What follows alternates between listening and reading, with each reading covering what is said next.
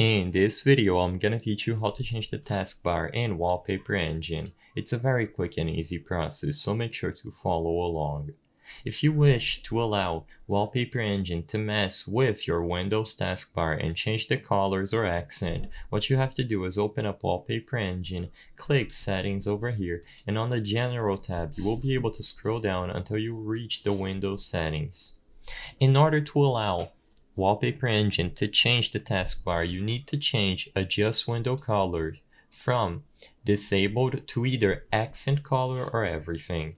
If you wish only the accents when you open up the File Explorer or the taskbar to be changed, select accent color, but if you wish to change every single aspect of Windows according to your wallpaper, select everything. Keep in mind that you are going to get this warning and I recommend that you read it thoroughly.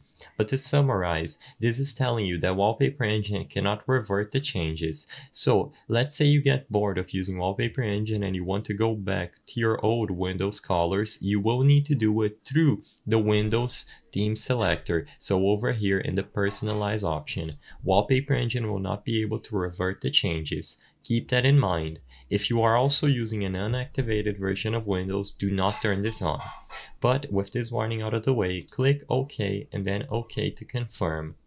Now, every time you change your wallpaper, the accent of the File Explorer and all other aspects of Windows will be changed accordingly. So as you can see, depending on the wallpaper I select, the colors are going to get changed. So this will affect all aspects of Windows and things like the taskbar and the File Explorer.